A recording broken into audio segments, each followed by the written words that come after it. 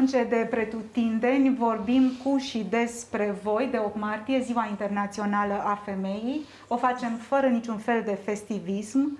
Încercăm să ne punem oglinzi, mai ales uh, în această perioadă când avem uh, vulnerabilități accentuate de pandemie, dar vom încerca o oră și jumătate să găsim și motive de speranță.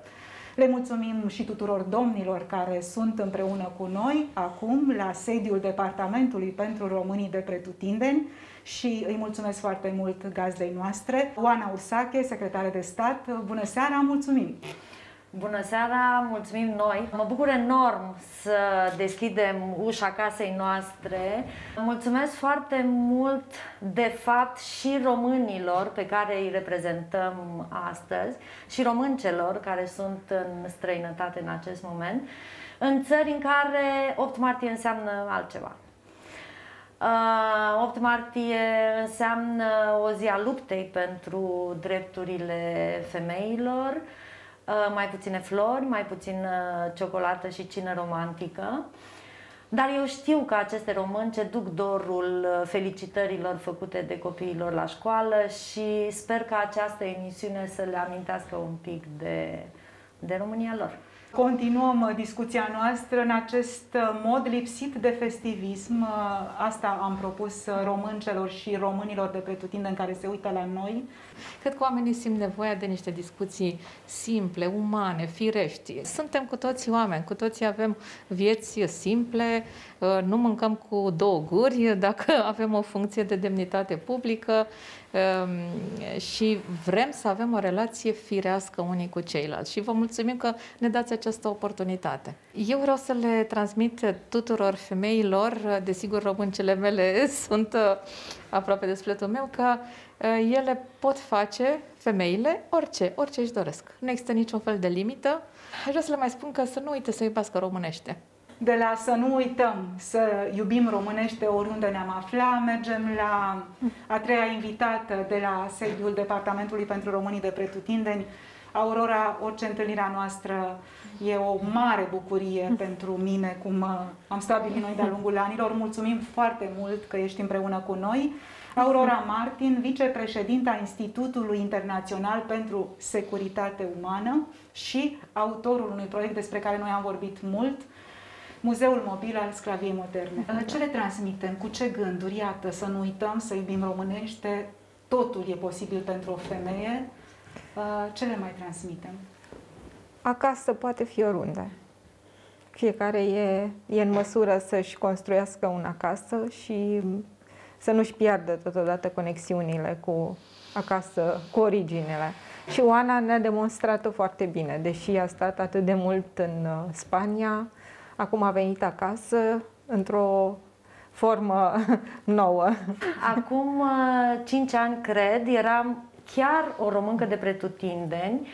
Uh, făceam parte dintr-o federație de asociații românești din Spania, lucru foarte rar.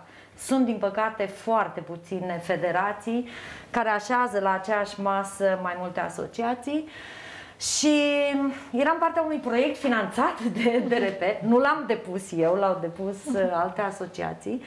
Și veneam să cunoaștem instituțiile statului român. Am fost la Parlament, am fost la Casa de Pensie și am avut o întâlnire cu ANES-ul pe vremea aceea. Agenția Națională să șoptesc pentru egalitate de, de șanse. șanse.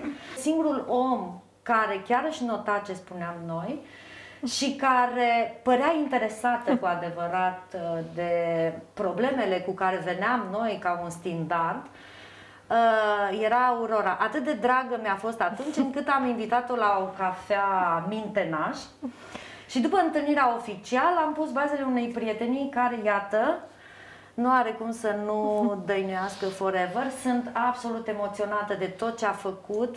O invidiez pentru ideea, forța, și determinarea pe care o are să lupte numai Don Quixote ar înțelege Mă gândeam în timp ce, ce vorbea Oana Ursache câtă dreptate avea Noica când spunea că niciodată nu se știe, bine era vorba de educație, în actul de educație, cine dă și cine primește.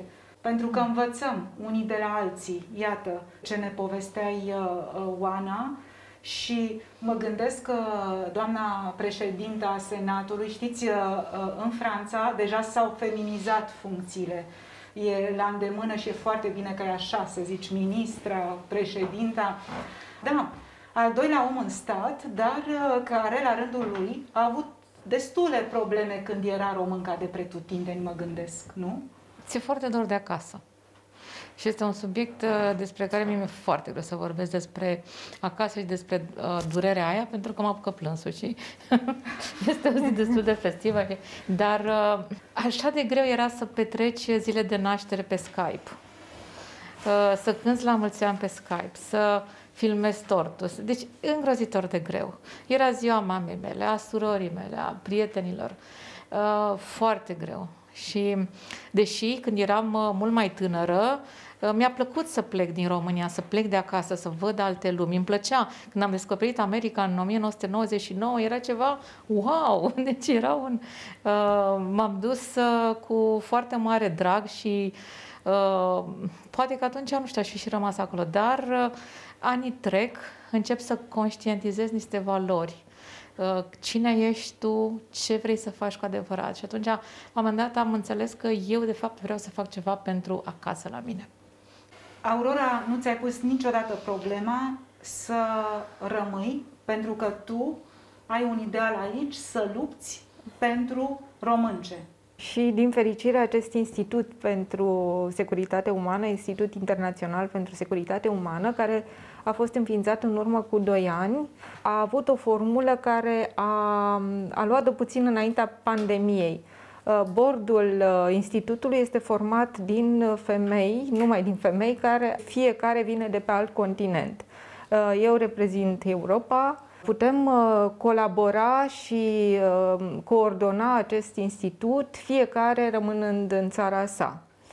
Așa se face că atunci când a venit pandemia, pentru noi a fost foarte simplu să ne continuăm activitatea în mod normal pe, uh, pe Skype, pe, uh, pe Zoom mai nou și să, uh, să avem uh, întâlniri cu oameni din, uh, din toată lumea. Am fost și plecată și nu credeam că să mi se facă dor de acasă, pentru că voiam mereu să plec, să plec. Mi se părea că, um, că e, ți se dă o măsură a valorii atunci când pleci, pentru că în România de multe ori, dacă faci lucrurile aici și le faci bine, corect, nu ești apreciat.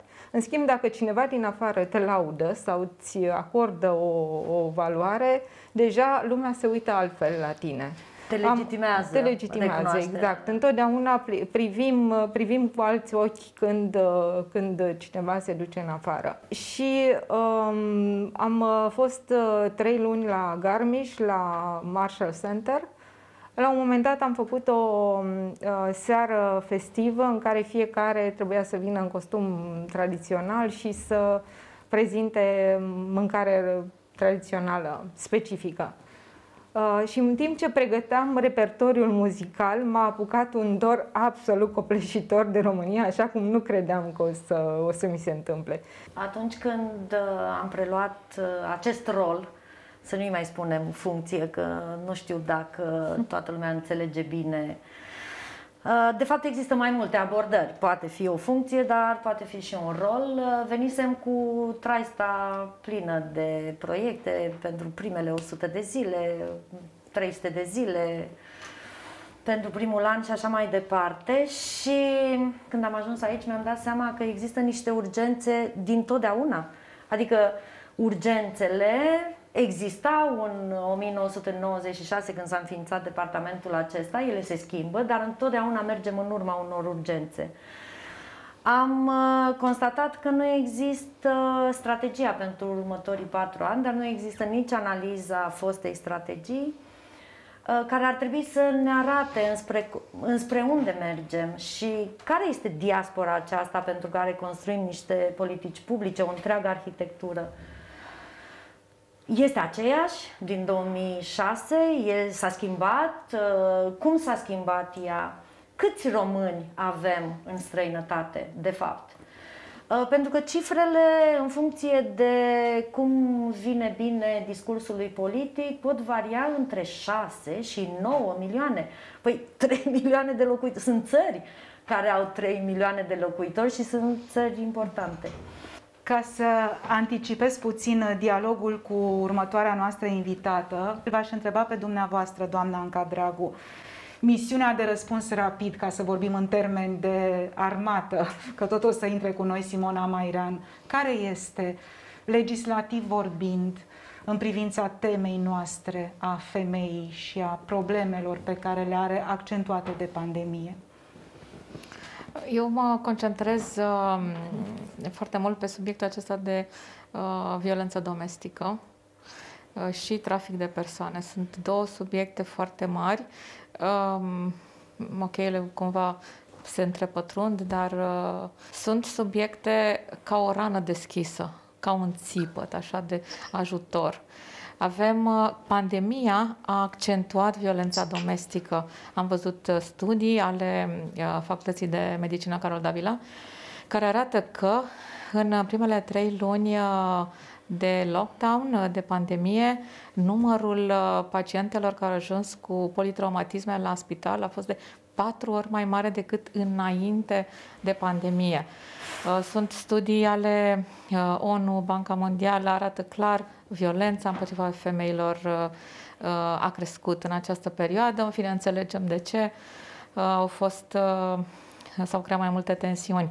Deci, acestea sunt subiectele, cum vă spuneam, dureroase, dar este o muncă grea, este un drum lung. Ar fi frumos să putem scrie un articol de lege și să îndreptăm toate aceste lucruri, dar nu se poate. Trebuie să schimbăm mentalități, trebuie să mergem către publicul larg și să punem pe agenda publică aceste subiecte, trebuie să facem societatea să reacționeze, trebuie să nu, noi, să nu ni se mai pară normal ca o femeie să fie bătută.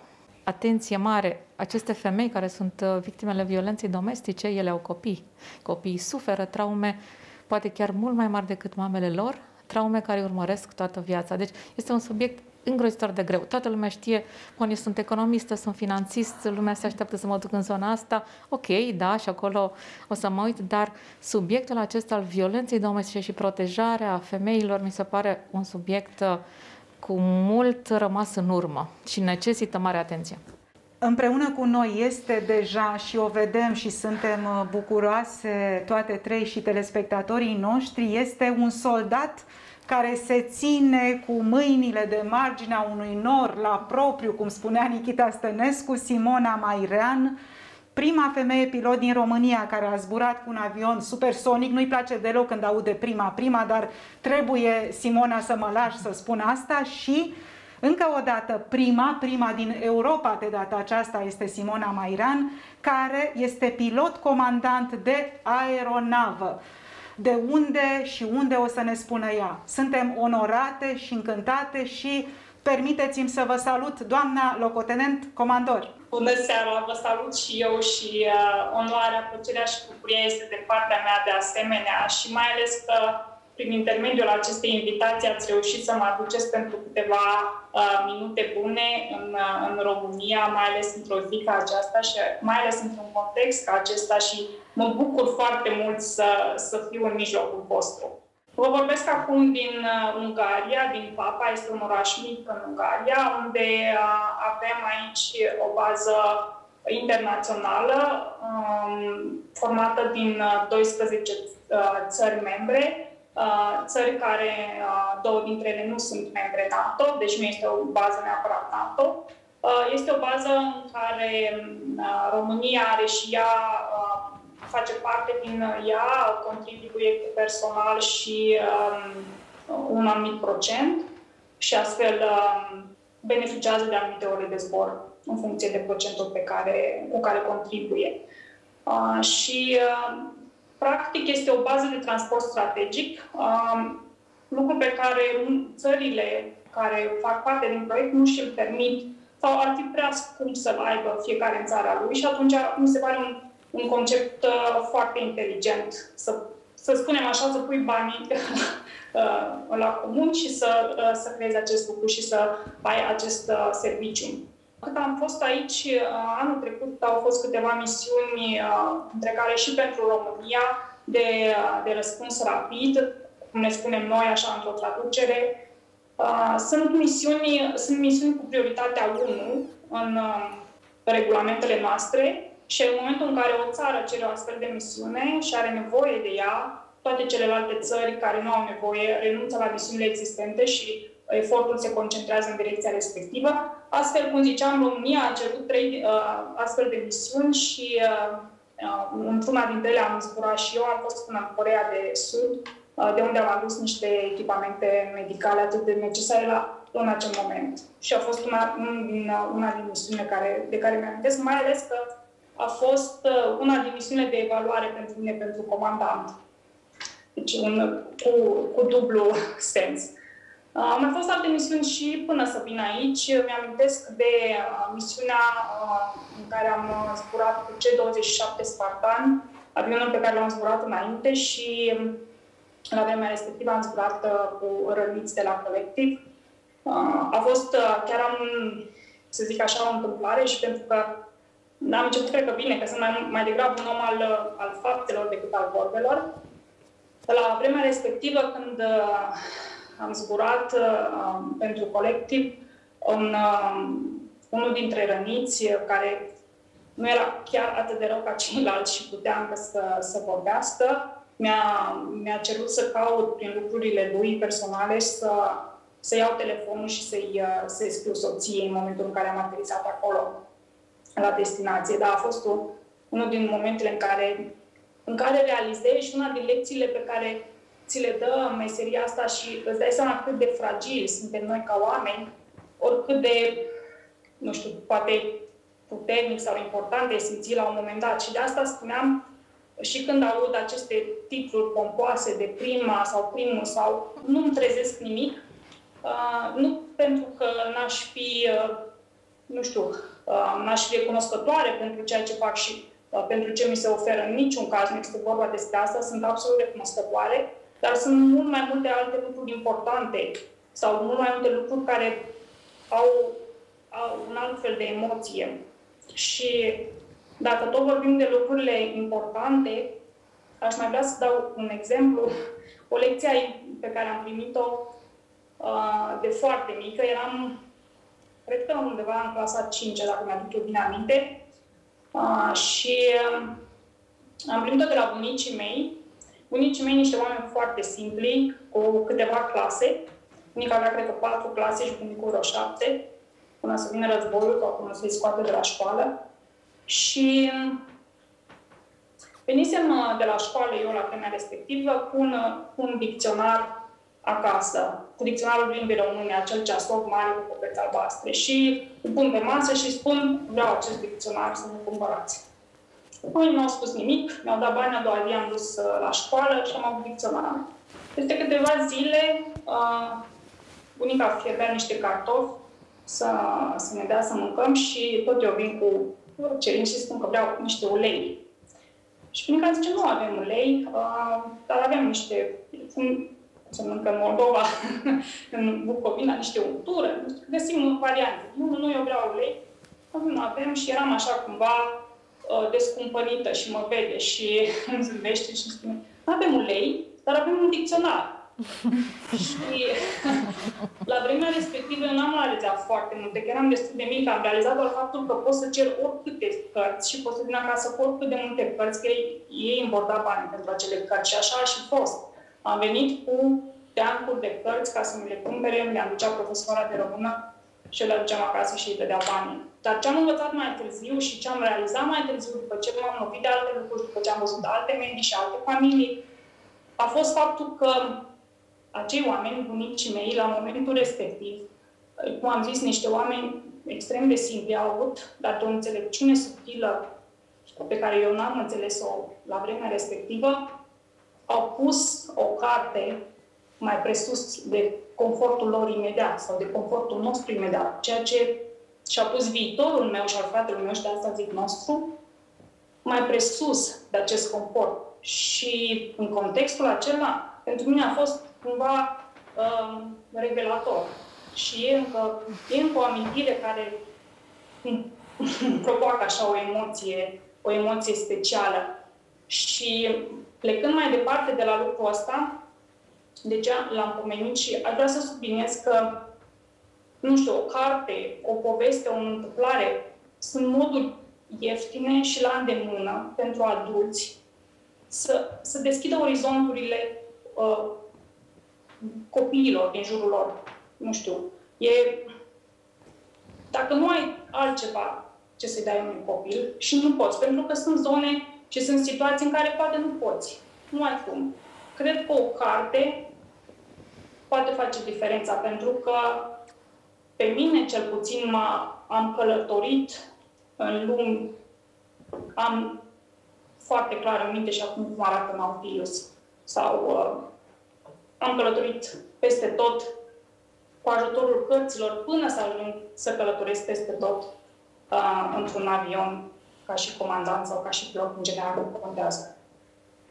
Și mă îndrept cu gândul mai mult pentru, în, pentru copiii din mediul rural, uh, pentru că de acolo vin și știu, uh, cel puțin știu cum era atunci, nu am informații foarte recente, dar nu știu dacă s-a schimbat foarte mult și uh, mi se pare esențial ca să-i dai un copil, unui copil libertatea de a alege. Și practic asta au făcut. În momentul în care m-au lăsat să văd opțiunile și mi-am dat libertatea să aleg, um, lucrurile au mers de la sine. Pentru că copiii au, au o inteligență interioară fenomenală și o putere pe care Mm, dacă nu îi tai aripile um, și le crește singur. Simona, ai făcut liceu la Câmpul Lung? Petru Rareș. La Petru Rareș. La Petru Rareș, da. Ne despart niște ani destul de mulți, dar știu că probabil prin Suceava ne-am întâlnit sigur cumva. Eu pe un trotuar, tu pe alt trotuar, eu cu aripile mele și cu dicționarul pe care mi l-au pus bunicii mei în mână, tu cu aripile tale și dicționarul tău. Știi ce voiam să te întreb? Știu cum se botează piloții și știu că și pe tine te-au târât prin mărăcini colegii tăi. Dar spune care a fost complimentul cu care te-au surprins colegii tăi, pentru că ești într-o lume exclusivă a bărbaților. Nu-și imaginează nimeni că o femeie are suficient corp, minte, putere, putere, pur și simplu, să împartă acea lume cu o femeie. Care a fost complimentul pe care l-ai auzit tu de la colegii tăi? Și pe care nu l-ai așteptat, care te-a, te surprins, te-a bucurat, ți-a justificat tot efortul? Am avut colegi care au spus că sunt una de-a lor. Sau unul de-a lor, nu știu exact niciodată. Sau că am avut de, de asemenea colegi care, și am și aici, care mi-au spus că și-a lăsat familia pe mâna mea să zboare cu mine. Și atunci nu am nevoie de un mai mare compliment uh, de atât. Um, Cred că cam astea au fost. Nu știu dacă au mai fost uh, altele, nu mi le amintesc acum, în acest moment. Dar te-au menajat sau te-au considerat uh, one of the kind?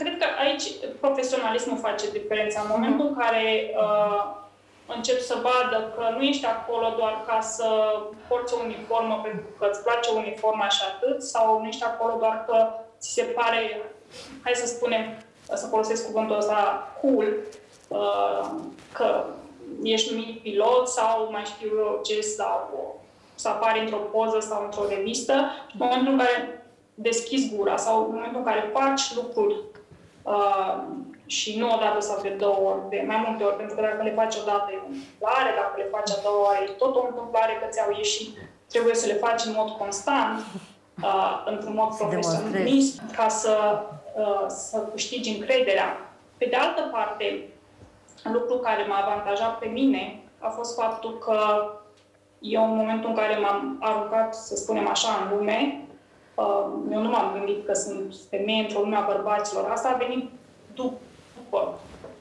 Dar uh, la început nu, pentru că nu am plecat cu asta, n-am avut start cu asta. și inițial nu înțelegeam care e problema, după care încet, încet am văzut de unde apare și am încercat să mă adaptez la, la situație, dar până la urmă um, te adaptezi la situație, dar nu te transformi. Cam asta e principiul meu și cred că uh, și ca femei nu trebuie să ne transformăm în bărbați sau nu trebuie să ne transformăm ca să facem același lucru. Îl putem face într-o manieră diferită, păstrându-ne uh, aceste, aceleași calități de femei cu care am intrat în meseria respectivă. Nu ne... Și cumva să, prin profesionalismul prin care dăm dovadă, să-i facem și, uh, și pe ei să se adapteze la situație. Deci cumva să vină în, în, din două direcții această dorință de adaptare. Și, și bine, în, într-un final. Se mișcă uh, destul de greu lucrurile și pentru mine, dacă s-ar fi întâmplat ieri, ar fi fost și mai bine, dar asta e o chestiune de răbdare. Și um, asta e un lucru pe care l-am și învățat pe parcurs și cred că uh, cumva uh, toate îl învățăm să, să găsim un echilibru.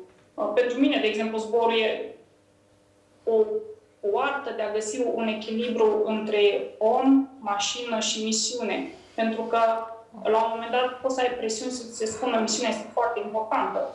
Corect, este foarte importantă, dar ce fac dacă nu am oamenii potriviți să fac acea misiune? Sau dacă mă duc ca și comandant, dar oamenii pe care trebuie să-i conduc sunt nu sunt motivați suficient sau uh, au probleme sau atunci misiunea cu siguranță nu va fi un succes. Deci trebuie, din perspectiva mea, uh, plec de la om și de acolo încerc să găsesc echilibru între mașină și misiune.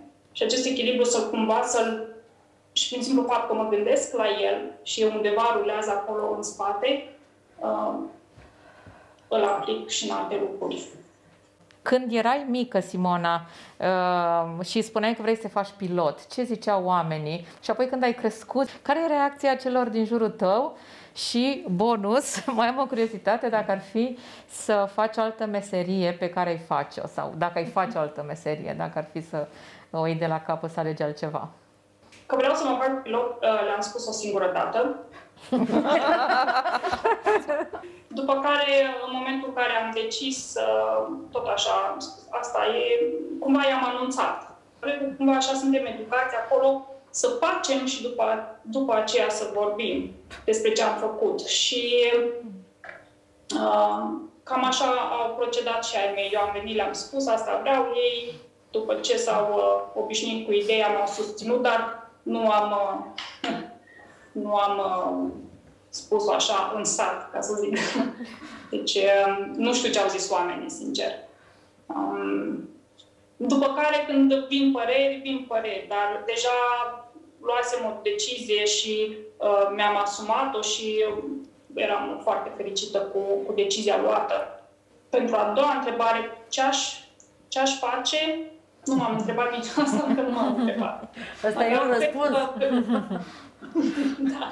În Pe consonanță ce, cu hotărârea. Ce trece timpul și îmi dau seama, sunt cumva acum și mai aproape de, de pragul de instructor uh, și îmi dau seama că e foarte important um, startul. Aș pleca de la copii, chiar dacă nu ești copil când începi, când începi să zbor, dar poți să, să începi și când ești copil, depinde unde mergi.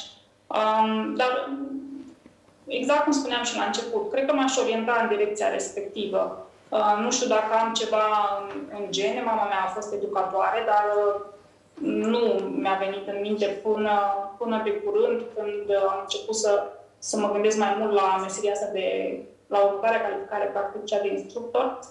Uh, dar probabil aș face ceva în domeniul respectiv. Nu știu ce însă, sigur.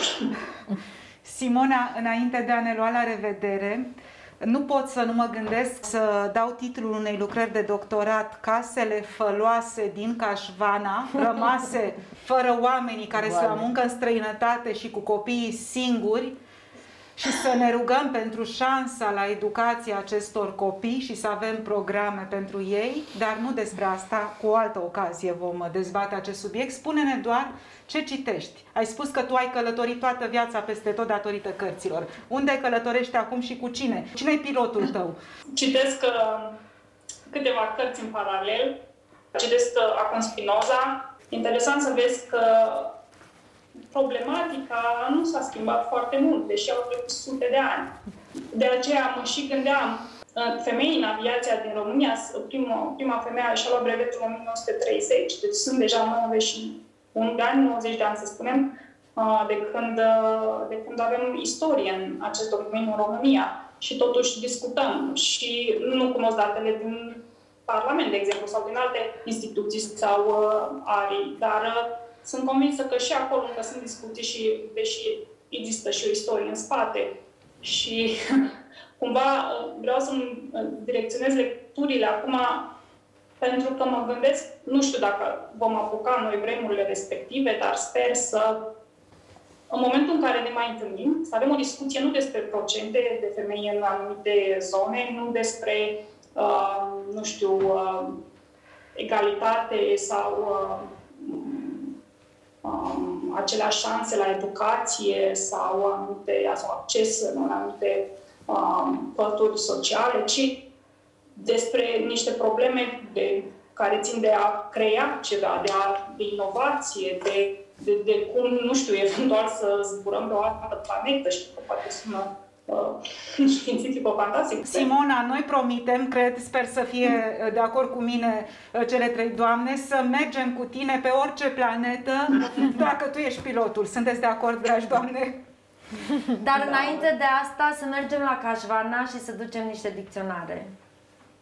Și da. la româneștii tăi.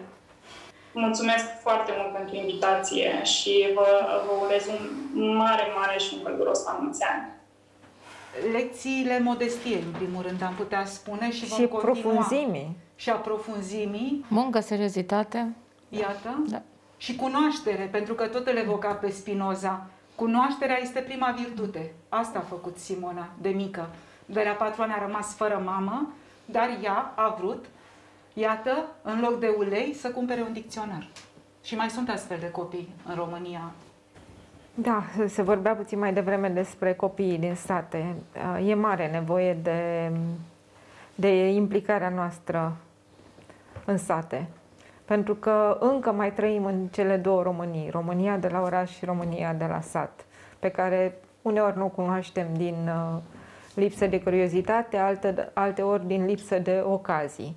România de la sat arată altfel, dar uh, arată într-un fel în care de cum ajungi acolo înțelegi că e nevoie de tine. Proiectul a pornit, uh, iarăși, nu cu un sprijin din România, ci cu un sprijin din afară, din, uh, din Statele Unite.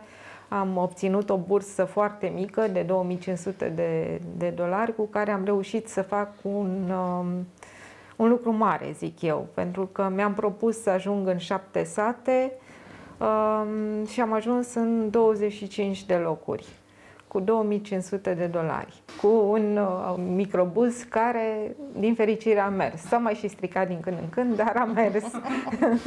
am, uh, am vrut să fac un muzeu după ce am vizitat uh, un muzeu din America, un muzeu al uh, Freedom Center, și uh, când uh, m-am uh, convins că nu pot să fac altceva până nu pun în aplicare această idee, mi-am dat seama că e foarte greu să, să înființez un muzeu în România. Birocrația e copleșitoare.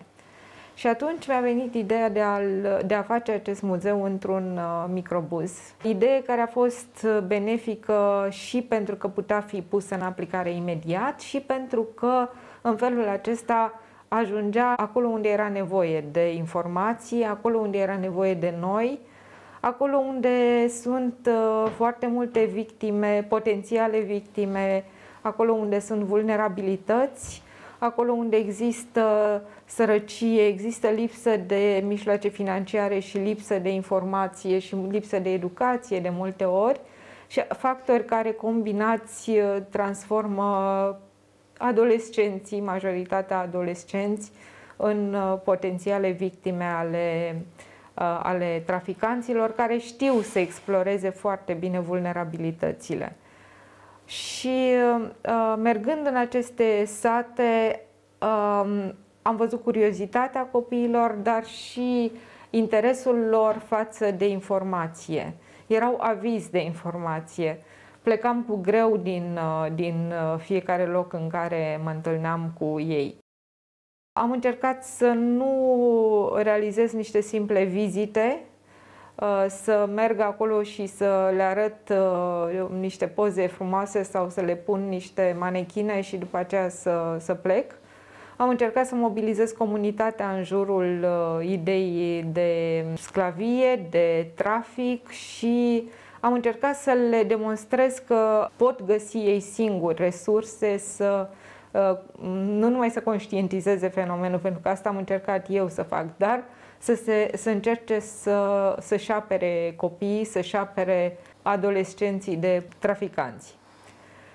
Așa încât uh, preot, uh, medic, asistent, profesor, primar, artiști locali s-au mobilizat în jurul ideii și au rămas cu această temă să aibă grijă de, de copiii lor. Am încercat să mobilizez și artiștii locali, pentru că de multe ori folosirea, prin artă se ajunge mai ușor la sufletul oamenilor. Nu degeaba vedem un film și uh, ne mobilizăm să luăm atitudine. Uh, am uh, mobilizat un uh, artist local care a făcut un, uh, un videoclip. Videoclipul se adresa și persoanelor cu dizabilități. Mm, folosea limbajul surdomuților, pentru că de multe ori victimele traficului de persoane sunt tocmai persoanele cu dizabilități. Oamenii sunt liberi și n-au preț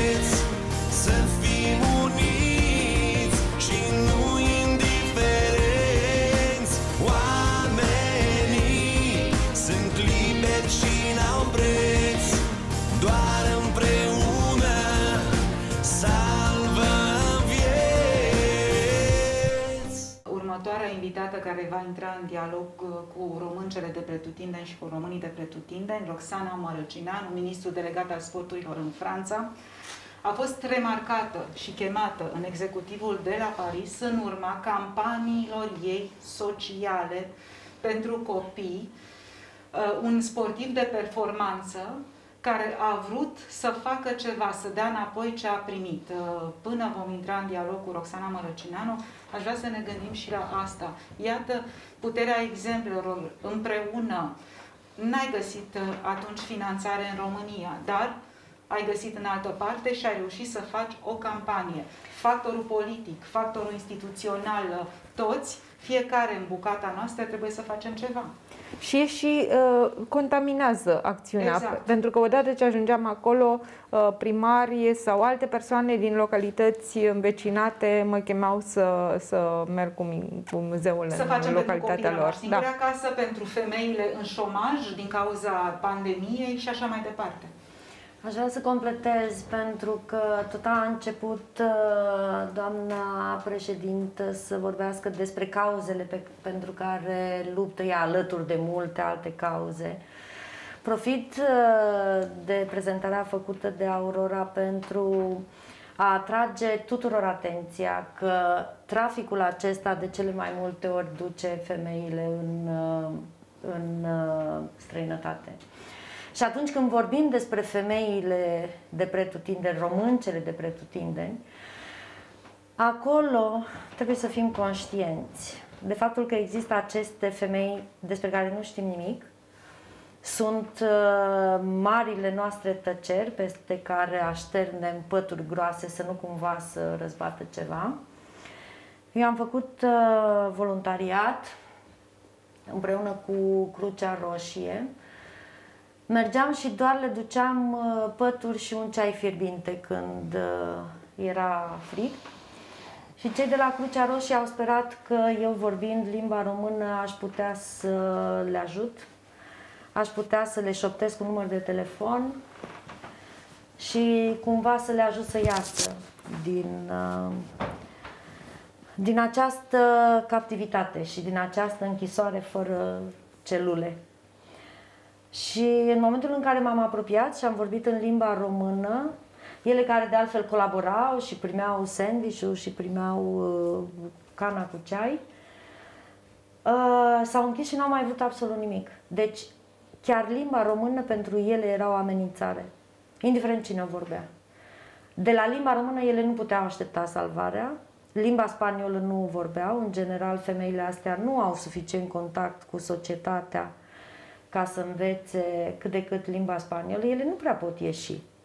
De aceea ă, munca de prevenție este atât de fundamentală, măcar să nu mai alimenteze aceste, aceste rețele. Bună seara! Bună seara!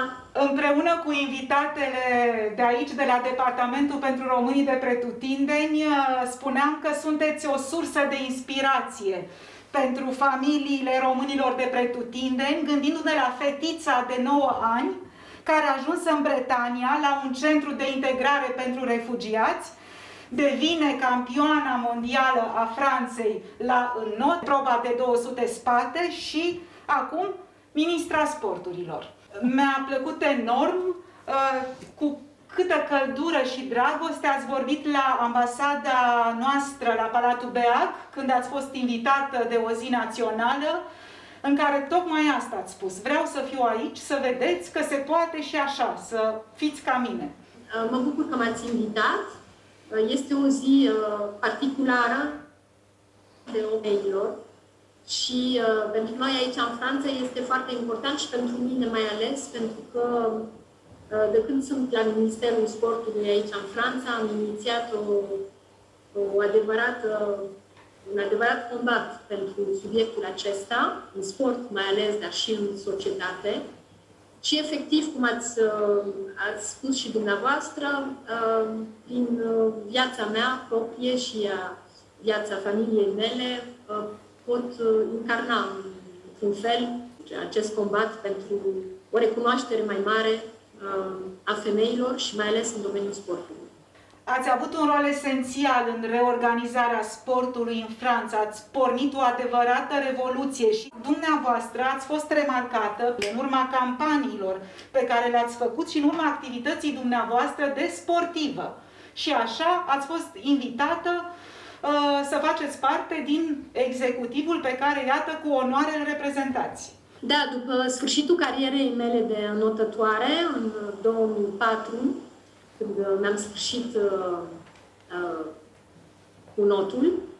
Mi-am terminat și studiile și apoi uh, m-am implicat în, uh, pe mod asociativ, deci uh, cum aici sportul se developează foarte mult de, pe inițiativă asociativă. Uh, m-am investit pentru uh, sportul destinat femeilor după perioada când au avut un copil și au decis să, uh, să revină la la o viață profesională uh, ca înainte. Și uh, am ajutat femeilor ca să, ca să se găsească între ele, să trăiască între ele în momentul acesta de, uh, mai particular când ai un copil și când ai și nevoie de sport ca să-ți regăsești o linie și să poți ca să și vorbești cu femei care au, au trecut prin perioada asta formidabilă de a deveni mamă. Uh, apoi uh, m-am ocupat de copiilor, copiii când au ajuns destul de mici, pentru că aici în Franța există un program, probabil ca și în România, unde te ocupi de, de copii când sunt foarte mici, bebei, uh, bebei, bebenajă, cum se zice. Uh-huh. Și apoi este o perioadă în care nu se mai ocupă de copii până pe la vârsta 6-7 ani, când poți din nou să te duci la o piscină ca să înveți să nuate. Dar între timp, nimeni nu se ocupă ca să învațe copiilor cum să Uh, să intre în apă și să fie mai ales în securitate, adică să nu, uh, să nu se nece în momentul ăsta când este foarte periculos, de fapt. Și cum aici în Franța avem uh, nenorocul de a cunoaște o mie de decese în fiecare an din cauza uh, în, în, cum se zice, în temeci. Da. Uh, și de aceea, primul ministru m-a rugat dacă nu pot ca să văd cum am putea să introducem învățământul acesta în cadrul școlii și dacă am putea, din când copilul intră în grădiniță și apoi până la vârsta de, de șase ani, ca să încercăm să-i învățăm cât mai degrabă să, să nuate și să poată să evolueze în toată siguranță în apă. Și cu ocazia asta a putut ca să asculte și ce aveam de zis pe restul, pe restul tematicilor. considerând sportul, faptul că avem în Paris Jocurile Olimpice și Paralimpice în Paraolimpice în 2024, am și putut să-i prezint proiectul care l-aș fi avut dacă aș fi fost pe postul ăsta și mi-a dat responsabilitatea asta de a fi ministra sportului. Am inițiat deja de 2 ani o reformă destul de importantă pentru că ne-am apropiat de Ministerul Învățământului și o să reușim prin uh, apropierea asta ca să colaborăm mult mai mult între asociațiile sportive și școala, ceea ce este ceva care în Franța este foarte dificil pe când în România se, am înțeles, adică din amintirile care le am, funcționa mult mai bine decât în Franța. Și um, în același timp să, să avem o reformă destul de importantă pe sportul de înalt nivel, ca să putem face în așa fel ca peste trei ani să avem rezultate mai bune decât avem acum pe plan internațional și pe uh, plan olimpic și pe plan paraolimpic. Ați avut o carieră de sportivă la cel mai înalt nivel, dar în același timp ați uh, urmat și aveți o licență în traducere specifică. Nu v-ați oprit aici cu acea licență în traducere, ați urmat școala de comerț de la Paris, o școală grea, cunoscută, ați fost consultant pentru un grup media, pentru France Television, dar și autor de rubrică permanentă într-un, uh, într-un ziar la Le Echip. Și vorbiți cinci limbi străine. Româna fiind limba maternă, ca și franceza, pentru că spuneați că sunteți 100% franceză și 100% româncă. Stimată doamnă ministră, sunteți acasă la Departamentul pentru Românii de Pretutindeni. Este o instituție a Guvernului României care își propune să îi asculte pe românii plecați. Să învețe de la ei și să creeze politici publice destinate lor. Vreau să vă întreb dacă ați fi de acord ca în acest demers de diplomație sportivă, ă, care nouă ni se pare singura șansă de a aduna toți românii la oaltă, mi se pare că puține lucruri unesc oamenii în general uh, mai mult decât sportul. Vreau să vă întreb dacă ați vrea să ne fiți mentor în acest uh, demers în care încercăm să adunăm copii din români din Spania să facă sport împreună cu, nu știu, copiii din românilor din Franța sau din Italia, dacă ar fi o idee bună să-i aducem să se plimbe cu bicicletele prin Carpații noștri, uh, să meargă pe țărmul uh, Dunării sau chiar prin Dunăre cu caiacul, nu știu, să, să încercăm să venim cu această idee a diplomației sportive. Nu este invenția noastră, uh, este o idee pe care ne-au dat-o cei de la Federația Română de Fotbal. Eu cred și sunt sigură că România cu toată uh, cartografia ei, adică peisajele care propune și uh, este o țară de sport. Uh, cum a zis, multe cursuri de apă care traversează România, un litoral, munți, adică peisajul perfect pentru asemenea dezvoltări în domeniul sportului. Dacă în plus reușiți ca să Uh, faceți prin sport ca copiii noștri, de fapt și copiii mei, să descopere România, ar fi super. Găsesc ideea foarte, foarte interesantă și um, toate pretexturile sunt bune ca, ca să putem reveni în România când avem ocazia și uh, cred că um, ori concursuri sportive, ori activități sportive developate în cadrul vacanțelor ar fi ceva extraordinar.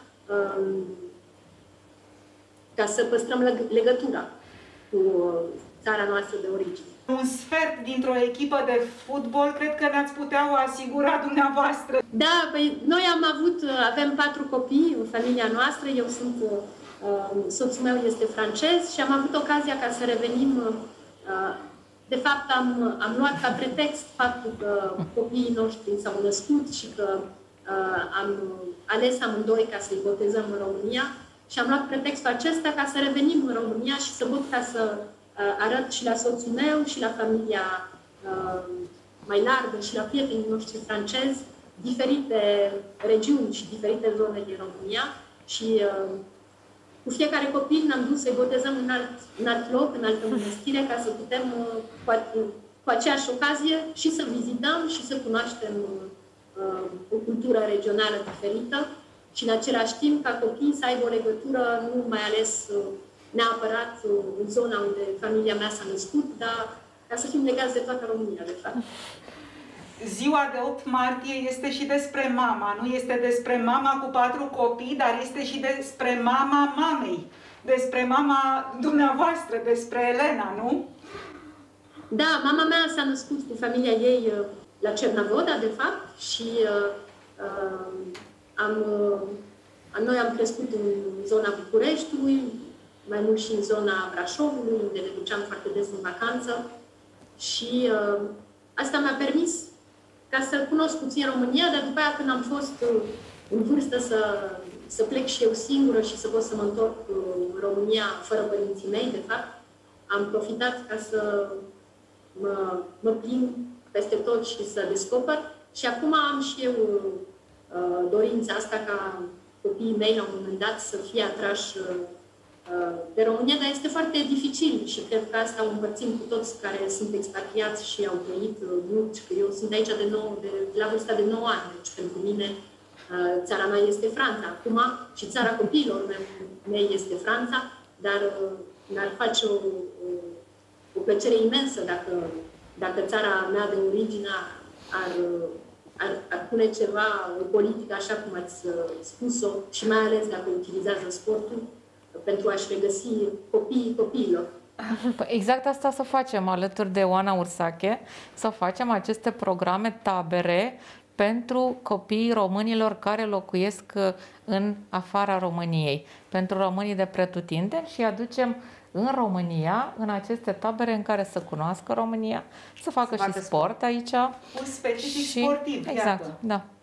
Noi avem un proiect, Franța va avea președinția Uniunii Europene în anul care vine, un semestru din 2022, și uh, cu Ministrul Sport, Sportului Român, domnul Novac, am, am decis ca să acompaniem o asociație care va pleca de aici, din, din Paris, și va ajunge până la București, mergând cu bicicleta și va traversa toată Europa. Și uh, avem ca proiect să acompaniem demersul acesta cu Uniunea Europeană. Deci avem deja un punct de start Uh, este o asociație de femei care au utilizat sportul pentru a reveni uh, de la, de la o boală, de la cancer de sân și după ce au ieșit după boala aceasta, vor ca să continue să utilizeze sportul uh, ca să rămână în sănătate corectă și să nu mai aibă recadere în boală. Și utilizează bicicleta pentru așa ceva. Și cum sunt în legătură cu Asociația franceză, o asociație română, am decis că o să-i ajutăm, noi, guvernul francez, ca să facă, uh, să facă traversarea asta prin toată Europa. Și uh, poate va fi uh, startul la proiectul care l-ați inițiat. Oricum au ajuns în România pentru că au trecut pragul României la Palatul Beag, la ambasada României de la Paris, unde v-am văzut într-o acțiune da, exact. minunată. Păi vedeți? mai, e, mai e un mic pas, să treacă pandemia, nu? Să scăpăm de pandemie și să vedem... Am prevăzut pentru septembrie, deci Gata, în septembrie, în septembrie aici suntem. Și neapărat la bazinul 23 august, unde a învățat să noate Roxana Mărăcineanu, o să facem un popas acolo? A, bineînțeles, tot timpul trec pe acolo ca să îmi amintesc și eu și să le arăt și la copiii mei când mergem în București, facem așa tura memorială a mamei. Noi uh, vorbeam aici uh, despre orice, despre copii, despre familie, despre gătit, despre ce mâncare s-a mai făcut, pentru că, de fapt, asta și asta fac femeile și vă pun o întrebare indiscretă. V-am auzit vorbind uh, la recepția de Ziua Națională de la Palatul Bea că vă plac sarmalele. Dumneavoastră știți să și faceți sarmale? Am luat, știți, niște cursuri, că din păcate n-am avut timp mama mea să le învăț pe toate, pentru că am notat mult, a trebuit să mă duc și la școală și nu prea am avut timp să împărțim, împărtășim aceste momente care sunt așa de uh, importante în viața uh, unui copil. și uh, am luat câteva cursuri eu aici, ca să pot să le învăț pe ai mei. Și uh, sarmalele le-am învățat cu cineva din, din Maramureș. Sunt sarmale fără carne, numai cu orez. Deci trebuie ca să ne punem încă de acord cu fata mea, să vedem și cu băiatul meu, că el este foarte interesant cu bucătărie. Și uh, să vedem ce rețete vor reține, din cele puține care le știu și eu. Deci acele tabere sportive ar trebui completate cu niște elemente de cultură tradițională, așa încât copiii, copiii să se întoarcă acasă îmbogățiți cu elemente. Ar fi super. și cu cursuri de limbă, pentru că noi am da? încercat uh, da. Să, le, să le dispensăm cât ne-au rămas și nouă din uh, româna care am putut să vorbim cu părinții noștri. Dar, uh, din păcate, nu, cursurile de română aici în Franța nu sunt așa de dezvoltate.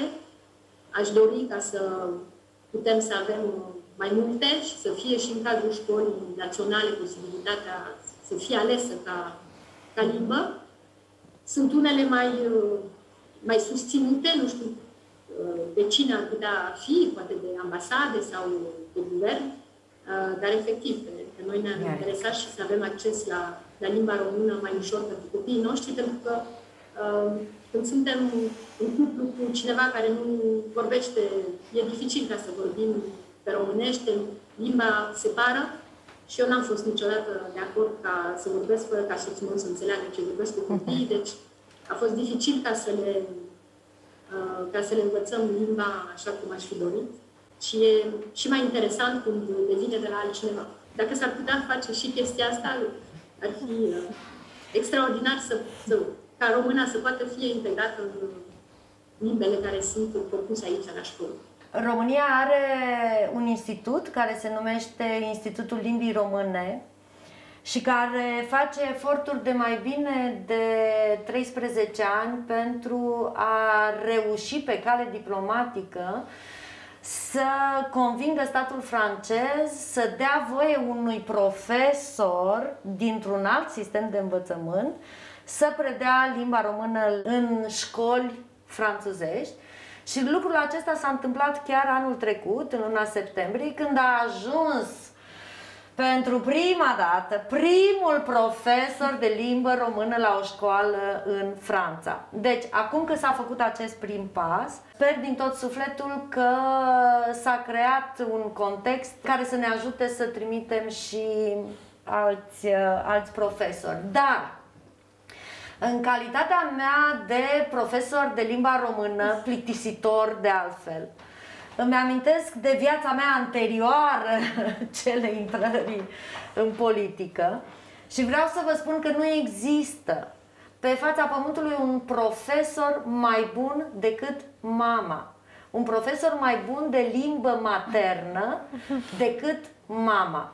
Singura soluție pe care vă propun este ca soțul dumneavoastră să meargă la cursuri la Institutul Cultural Român, la cursurile de limba română și astfel toată lumea va înțelege și va vorbi, va vorbi româna. Copiii prind uh, fără să-și dorească și fără să vrea și fără să pară că au prins vocabularul și structurile morfologice ei vor asculta pasiv, vor refuza să vă răspundă în limba română, până când, dintr-o dată, după ani și ani, o să vedeți că uh, vorbesc o limbă română absolut perfectă.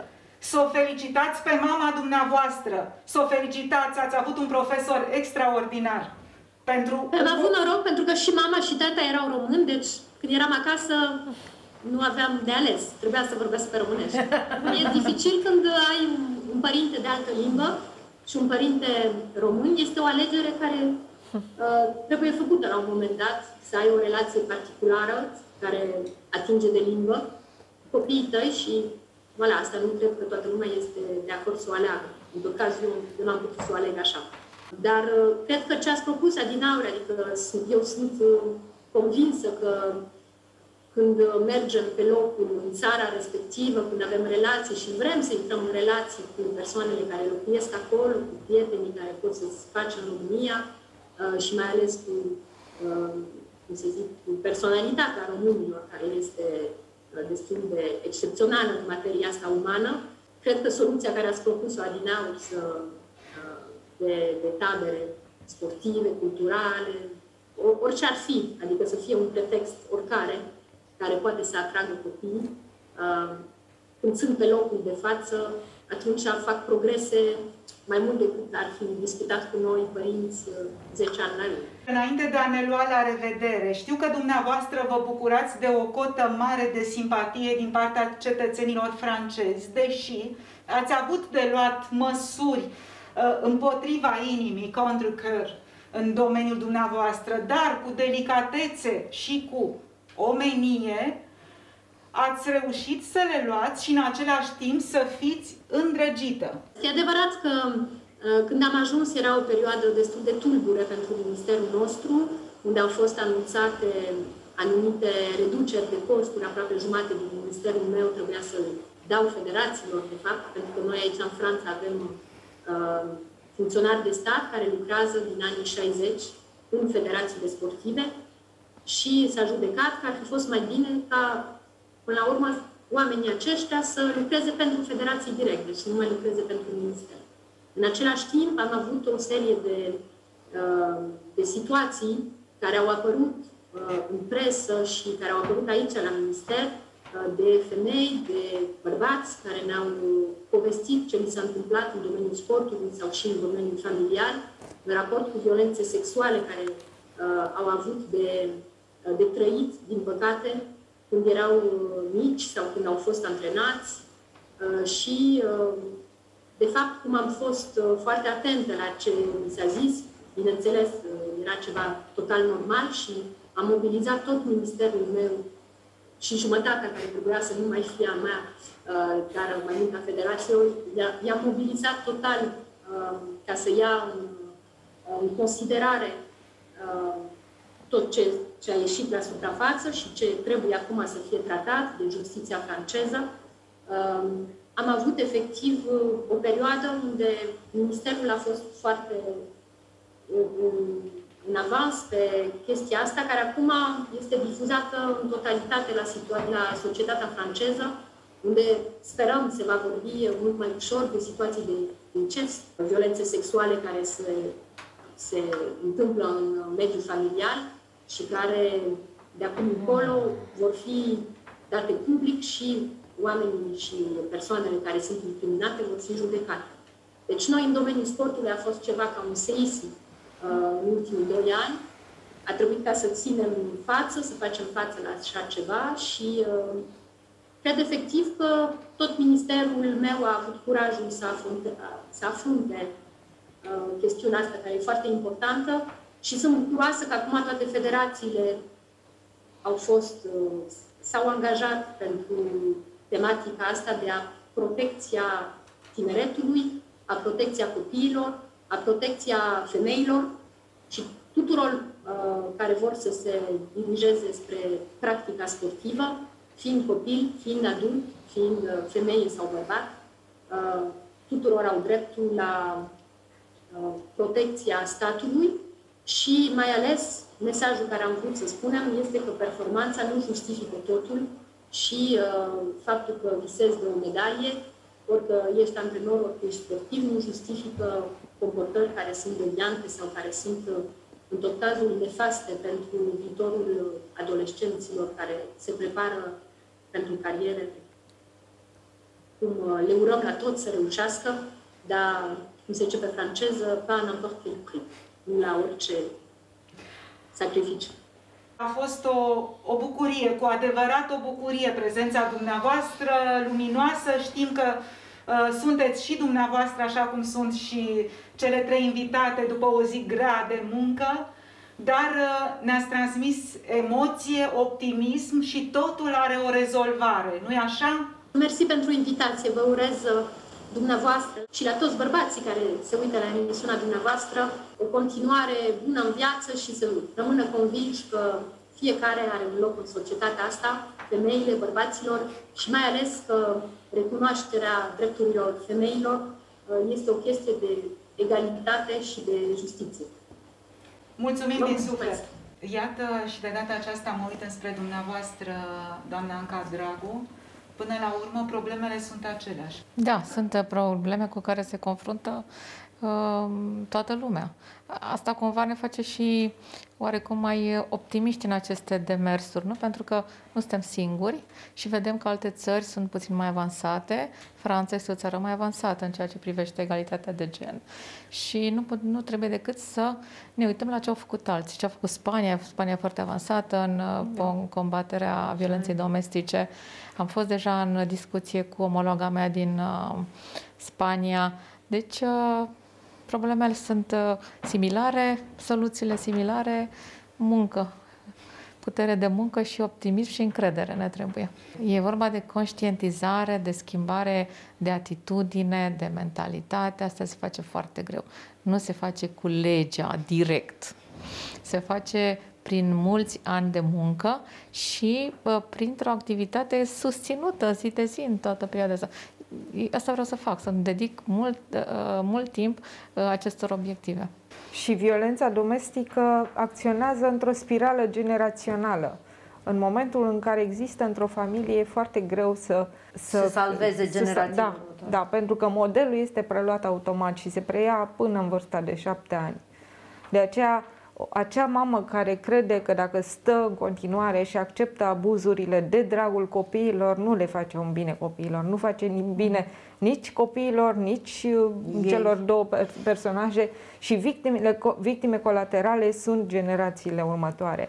Și există această legătură de care spunea doamna președintă între uh, violența domestică și traficul de ființe umane, pentru că multe femei uh, acceptă o propunere, o scăpare din violența domestică, uh, fiind vulnerabilă, acceptă mai ușor o cale de ieșire, fără să realizeze că acea cale de ieșire este de fapt o închisoare pe viață, pentru că odată ajunsă în mâna unui traficant e foarte greu de crezut că va scăpa cu viață, va scăpa cu traume și dacă va scăpa exploatarea prin muncă. La fel, dacă mergi într-un loc neinformat, fără un contract legal, femeie sau bărbat, ai probleme din care cu greu uh, mai poți ieși și uneori chiar și ajutorul pe care îl ceri statului tău vine destul de târziu. În discuțiile cu ambasadorii uh, din uh, țările Uniunii Europene din vest, uh, Spania, Uh, Germania, Franța. Am pus uh, pe agenda discuțiilor uh, subiectul acesta de protejare a comunităților de români, în special a forței de muncă care activează în aceste țări și știm foarte bine, vorba de muncitori sezonieri, muncitori care nu cunosc regulile țării respective, care sunt expuși multor abuzuri și pentru care, și care nu au o voce. Noi trebuie să fim și vocea lor. Nu aș vrea cumva să plecăm din uh, această emisiune și telespectatorii dumneavoastră să creadă că punem semnul de egalitate între violențele, abuzurile care se întâmplă în Franța și cele care se întâmplă la noi. Este o mare disproporție și țin să subliniez lucrul acesta. În primul rând, faptul că noi nu denunțăm. În al doilea rând, faptul că uh, avem o cultură care ne ajută să nu identificăm abuzul atunci când ni se întâmplă. Suntem țara care are cele mai, cel mai mare număr de mame adolescente, care are cea mai mică rată de educare pentru sexualitate. Uh, am citit o oroare acum câteva zile, avem cea mai tânără bunică din lume. La 23 de ani, ea are nepoți Locuiește în Marea Britanie, da. Fata ei a făcut copii chiar la o vârstă mai timpurie decât ea. La 11 ani. La 11 ani. Uh, aceste probleme nu le regăsim foarte ușor în alte țări și ar trebui să ne asumăm faptul că pornim mult în urma celorlalte state europene și să nu uităm că România alimentează piețele de trafic sexual uh, în uh, niște procentaje care nu, nu ne ajută, dar ne motivează să,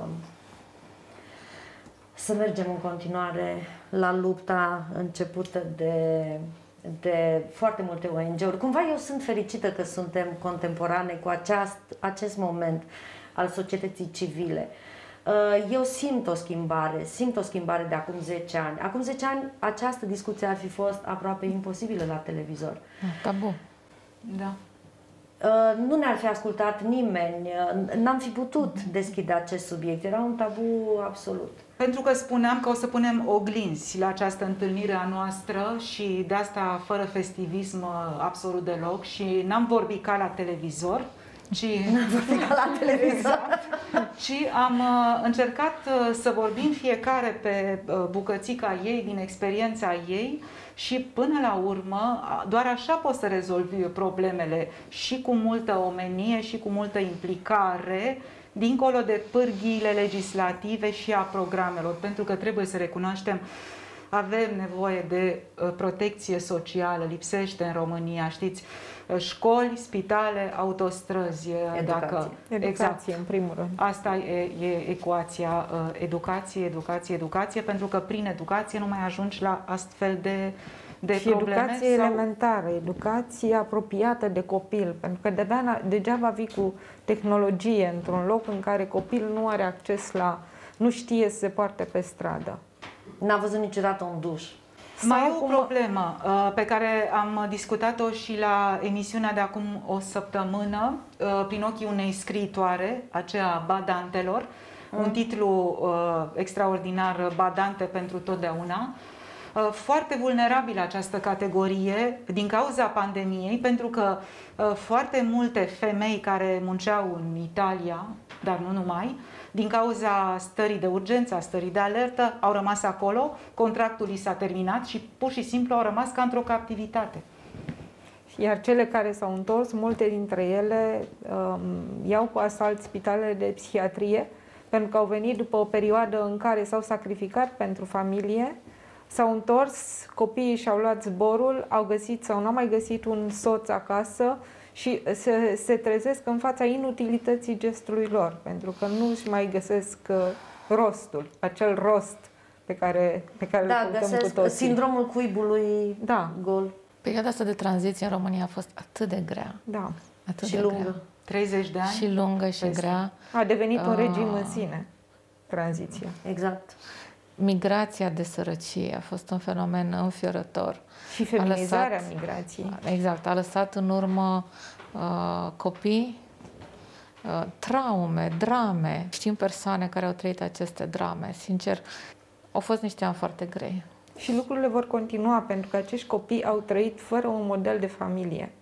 Au trăit cu absența familiei. Iar când vor trebui să-și facă ei familia, ei nu vor avea suportul acela Cu atât de mai mult e nevoie raportare. ca noi să fim prezente în public, uh, să fim vizibile, să fim vocale și să le arătăm ce pot face acești copii, să le arătăm modele. Exact asta cred că noi putem face foarte bine. E neapărată nevoie de programe conjugate ale tuturor instituțiilor statului, fie Ministerul Afacerilor Interne, fie Ministerul Muncii, fie absolut toate, pentru acești oameni, cei care sunt acolo și mai ales ce fac ei când se întorc dincolo de strategii și de programe frumoase uh, pe hârtie. Strategia n-ar trebui să fie un program frumos și n-ar trebui să fie pe hârtie, ar trebui să fie un plan, așa cum îți construiești o casă pe baza unui plan. Uh, exact așa ar trebui să fie politicile publice desenate și exact unde, ce și cât de tare poți să construiești. Obiectivele departamentului ar trebui să fie 3, 4, dar în principal ar trebui să-i ajute pe cei care doresc să se întoarcă și plănuiesc să se întoarcă, au plecat cu gândul de a se întoarce și ar trebui să le dăm o mână de ajutor, dar nu o mână de ajutor ipocrită. Nu le putem spune, veniți că aici totul e ideal, e mai frumos decât din societățile din care plecați. Nu, dar le putem spune, veniți și ajutați-ne să construim țara aia de care aveți nevoie ca să vă puteți întoarce. Uh, nici nu trebuie să se întoarcă cu toții deodată definitiv. Uh, România a avut un program extraordinar de bun, Diaspora Startup, uh, și avem niște rețete de succes. Nu sunt multe, pentru că pe reversul medaliei este că au venit destui care și-au cheltuit banii mult mai repede decât credeau uh, și au reluat migrația de la capăt. Deci după 14, 15, 20 de ani de migrație în care ei au strâns niște bănuți, au venit să investească în România, s-au simțit furați, s-au simțit trădați și oamenii ăștia au remigrat. Au luat-o de la capăt. După ce uh, odată i-a înșelat statul pentru că n-a avut grijă de ei, singura lor supraviețuire, ca să-și poată plăti niște amărâte de rate pentru că și-au cumpărat televizor colora, au trebuit să plece. S-au întors, convinși că uh, au învățat suficiente lucruri dincolo și că pot face mici afaceri, că nu veneau să uh, facă mari industrii, Uh, s-au simțit furați de plicuri, de șpăgi, de uh, comisiile și comitetele și vizitele care le-au fost făcute și au luat-o de la capăt. Dezamăgirea acestor oameni nu poate fi măsurată și nici nu poate fi păcălită. Oamenii se vor întoarce atunci când vor avea școli pentru copiilor în primul rând, spitale, drumuri. E mult, e ceea ce cere societatea românească de acum 30 de ani, fără încetare. Alt obiectiv ar fi pentru cei care sunt deja integrați și nu mai doresc să se întoarcă, iată ca pe uh, doamna ministră, haideți să o ajutăm să-și învețe copiii limba română, să-și păstreze identitatea lingvistică, identitatea de neam. Așa încât copiii se întoarcă și să vorbească între ei, uh, să, să mențină, să fie Suntem o în perioada o acțiune durabilă. nici, da. ne, nici măcar nu ne costă Da. mult să, Da. a rețelelor de socializare, a aplicațiilor, a jocurilor pe internet. Și mai aveți, uh, Oana Ursache, pe românii din jurul României, apropo de a spune o poezie de 8 martie mamei în limba ei, în limba română. Avem mai multe tipuri de diasporă, avem uh, comunitățile istorice care uh, au specificul lor, au mult mai puțină mobilitate, dar care probabil la nivel istoric au și mai mare nevoie de ajutor. Iar ajutorul nostru este foarte concret. Ei au nevoie de acțiuni foarte concrete acum, rapid. Și mai este diaspora istorică, uh, cei plecați în Statele Unite la începutul secolului trecut, uh, cei plecați în Israel deja se constituie, chiar și cei plecați în Canada în anii 90, se constituie deja într-un tip aparte de diasporă, care ar fi dia- diaspora istorică. Dar apropo de, l- sunt întrebată adesea care sunt comunitățile cu cele mai mari probleme. Nu contează. Fiecare sat în care mai sunt 5 sau 6 vorbitori de istro-română, pentru ei, pentru acea comunitate, cele mai importante probleme le au ei. Și atunci ar trebui ascultate toate comunitățile acestea. Nu sunt aceleași probleme, dar eu cred că ar avea soluții, mă rog, am putea găsi relativ ușor soluții adaptate pentru atunci când vrem cu toții, cei de la masă, atunci când conștientizăm uh, beneficiul pe care îl are România de la acești, uh, acești români din afara României, la nevoile pe care le avem din 4 în 4 ani când mergem și le cerem votul. Ne apropiem de finalul întâlnirii noastre în șase și cu atâtea milioane în fața calculatoarelor, televizoarelor. A fost uh, o înregistrare într-o seară de 8 martie, un omagiu adus uh, tuturor românilor de pretutindeni. Până la urmă, nu știu, am încercat să prezentăm uh, oameni care au pornit de jos, dar sunt exemple pentru noi toți și poate avem exemple lângă noi uh, oricând și oricum. Avem exemple uh, uh, alături de noi rude, prieteni, cunoștințe, uh, oameni care poate nu neapărat au ajuns uh, miniștri în țările în care au, uh, uh, au ajuns să trăiască în ultimii ani, dar care uh, sunt uh, oameni uh, serioși, muncitori, uh, fac cinste neamului românesc uh, pe acolo pe unde sunt și pentru că stăm pe 8 martie vreau să spun așa că uh, femeile nu sunt mai bune decât bărbații sau bărbații mai buni decât femeile. Uh, Suntem uh, foarte asemănători în multe privințe, suntem complementari în alte privințe și ca atare trebuie să trăim armonios împreună, într-o egalitate de gen.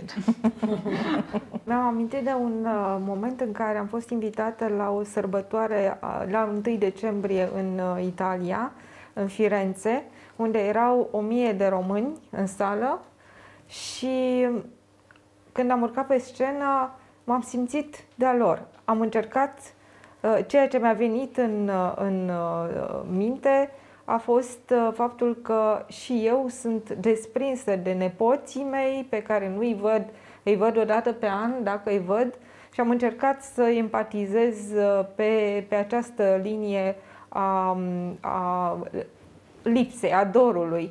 Pentru că suntem în România, suntem în afara țării, dorul există. E România din țară și România de afară.